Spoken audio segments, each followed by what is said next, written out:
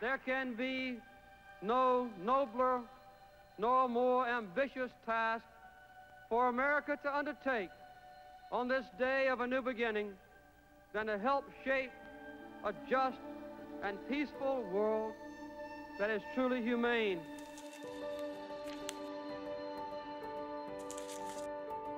Jimmy Carter was the 39th President of the United States, Governor of Georgia, and a tireless advocate for peace and human rights around the world.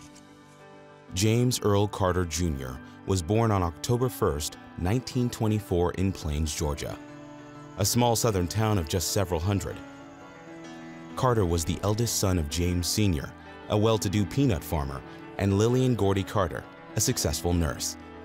Raised on their farm alongside his siblings, Gloria, Ruth, and Billy, Jimmy devoted himself to the family peanut business through the lean years of the Great Depression. On July 7, 1946, Carter married fellow Plains native Rosalynn Smith, and together they had four children. After his father's death in 1953, Carter took on his father's role in the peanut farm. Before long, Carter would feel the call of public service. In 1962, Carter won a seat in the Georgia State Senate. He soon set his sights on the office of governor, fighting through two difficult campaigns before he was finally sworn in on January 12, 1971. Publicly denouncing segregation, Carter became the face of the New South. In the wake of countless federal scandals, Carter saw an opening on the national stage.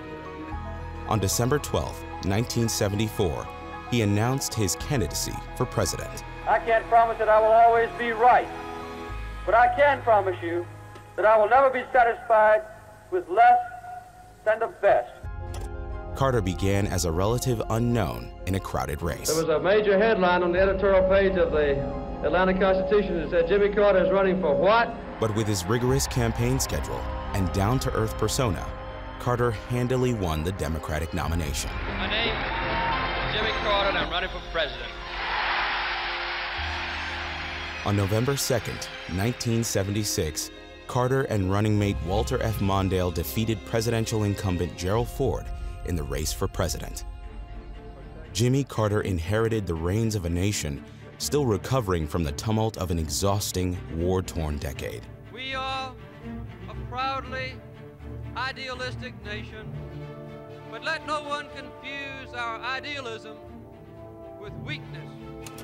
Carter focused his domestic efforts on energy. We now believe that early in the 1980s, the world will be demanding more oil than it can produce. In 1979, an oil shortage threw the country into a massive energy crisis. As drivers lined up for blocks in the summer heat to fill their gas tanks, Carter called on Americans to scale back their individual consumption. Every act of energy conservation like this is more than just common sense. I tell you, it is an act of patriotism. Carter approached his foreign policy with forceful optimism.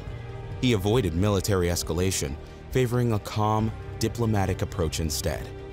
This belief system played a crucial role in securing Carter's greatest diplomatic accomplishment in office, a treaty between Egypt and Israel.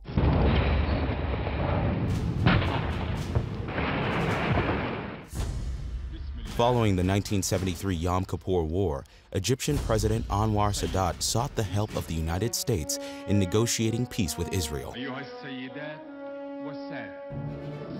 Over 13 tense days in September 1978, Carter hosted Sadat and Israeli Prime Minister Menachem Begin at Camp David. The resulting treaty marked a seismic change in the Middle East, securing a peace many had seen as unattainable. And I would like to say, as a Christian, to these two friends of mine, the words of Jesus Blessed are the peacemakers, for they shall be the children of God. The darkest days of Carter's presidency occurred during the Iran hostage crisis. On November 4, 1979, an armed group of Iranian radicals stormed the U.S. Embassy in Tehran, demanding that the U.S. extradite the deposed Shah to stand trial at home. the radicals claimed 66 Americans as their hostages. The standoff captured the attention of the world and lasted a remarkable 444 days. The events culminated in a botched rescue mission in which eight American servicemen and one Iranian civilian were killed.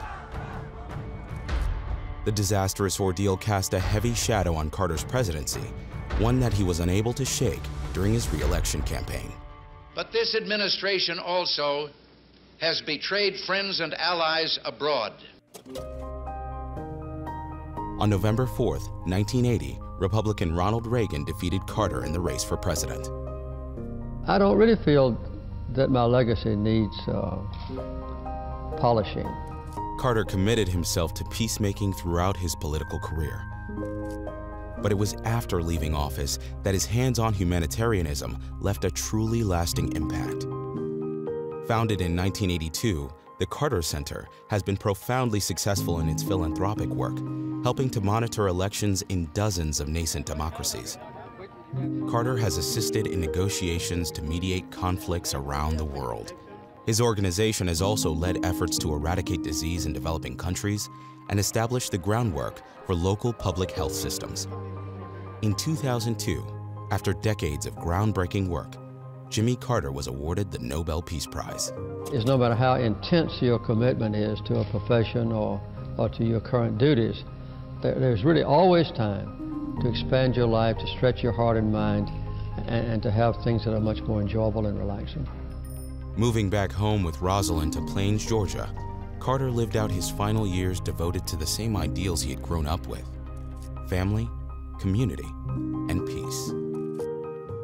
These are not just my goals, and they will not be my accomplishments, but the affirmation of our nation's continuing moral strength and our belief in an undiminished, ever expanding American dream. Thank you very much.